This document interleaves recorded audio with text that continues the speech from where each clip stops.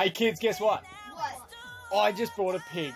How's that going for you? It's bringing home the bacon. Oh my god! More bacon! Love bacon. I love it too. If you think that's funny, well, we got plenty more to entertain you. We're the Nimmos and we're gonna rock. Why, why did Piglet look in the toilet?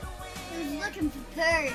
Ah, you're killing me. All right, see you guys. See!